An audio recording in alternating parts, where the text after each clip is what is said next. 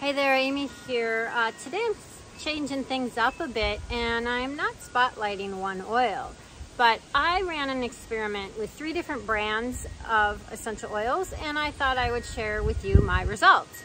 Now I know the group is brand free and I am not affiliated with any one of these, um, but like all of us, I have my favorites. So what I did, uh, I, I ordered black spruce and lime because I needed to refill mine. So I ordered from two companies that I have not ordered from. Well, one I've never ordered from and one I've ordered from a few times. And I wanted to compare them to the existing oil that I had. So what I'm comparing to is uh, Aromatics company, um, aromatics.com, black spruce. One of my favorites. Um, black spruce is my favorite, one of my favorite oils and Aromatics is one of my go-to companies. So um, this is like almost gone, right? So I know that it's already going to be softer than if it was a fresh bottle. Might be a little flatter or duller, and I take that into consideration. But when this bottle was fresh, and even still, I can inhale it. If I were to close my eyes, I would feel like I'm in a forest. There's a fullness uh, to this bottle um, it smells piney, but there's a fullness and a depth, like if we were talking wine, right? It's like full body. Um, so what I did is I ordered from uh, Plant Therapy, was one of the companies. Now I've ordered a few times from them, um, but I thought I'd order their black spruce to see what I think. And it is not as full-bodied or uh, you know, it doesn't have as much depth as the aromatics bottle does. Um, but it's not bad. It's a little sharper, but um, it's okay. And the third bottle is by Revive, which is a company I have never ordered from before. And I thought I'm going to check it out and see what I think of their oils. So this black spruce was much sharper and not full bodied. So when I smell it, it's like I had this sharp scent that kind of hit my nose and that was it. So it was a what I call flatter aroma and a sharper aroma.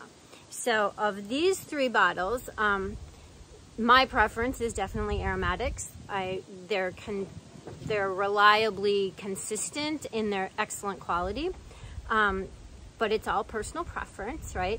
So, um, let's see, the, the plant therapy um, would be okay. I did run it by Jake. I ran all of them by Jake because he likes black spruce. We work with it a lot. And he was willing to inhale all of them. Um, so it, they all passed the dog test. Um, the other oil that I ordered, lime, same three companies. And I had sim, well, so I had lime from Aromatics. This is an older one, so again, I know it's gonna be softer. It's gonna be, you know, not the same as a new bottle.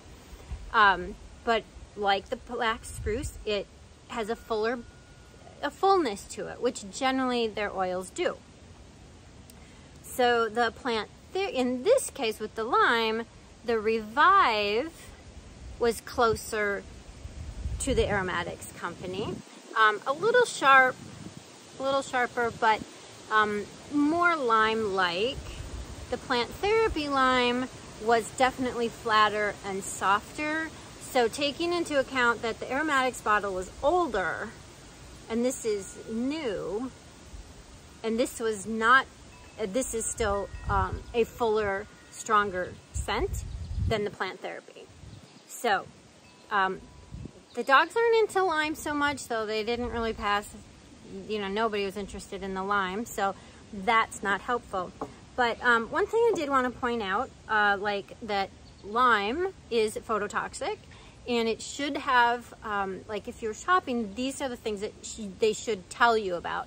So Plant Therapy does not have it on the bottle, but they do have it on their website that it's phototoxic, so that's good.